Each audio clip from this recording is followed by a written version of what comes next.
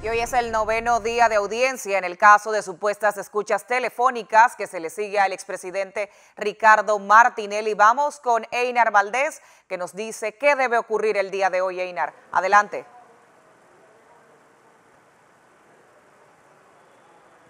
Buenos días y como indicas, Yami Rivas, noveno día de juicio oral en el caso del expresidente Ricardo Martinelli. En este caso debe prevalecer hoy la lectura de los cuadernillos que contempla el Ministerio Público, cerca de siete cuadernillos con más de 5.000 eh, páginas, según ha manifestado tanto la Fiscalía como la defensa del expresidente Ricardo Martinelli. Se preguntarán ustedes qué contienen estos cuadernillos, pues son evidencias o pruebas eh, periciales que ha recabado la Fiscalía en este caso de presuntas escuchas telefónicas. Hay que acotar en este punto que la defensa del exmandatario sigue insistiendo en eh, la falta de cadena de custodia de estas evidencias.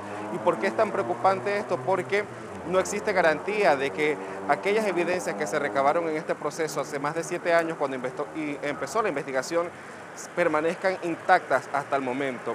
Y de acuerdo a lo que manifestaban eh, algunos especialistas en este tema, la cadena de custodia se cumple en Panamá a través del Instituto de Medicina Legal y Ciencias Forenses desde 1990, situación que la Fiscalía en su momento argumentó que cuando inició este proceso de investigación no se aplicaba la cadena de custodia, sin embargo hay evidencias de que antes de esa fecha sí se aplicaba este mecanismo para garantizar la integridad de las evidencias.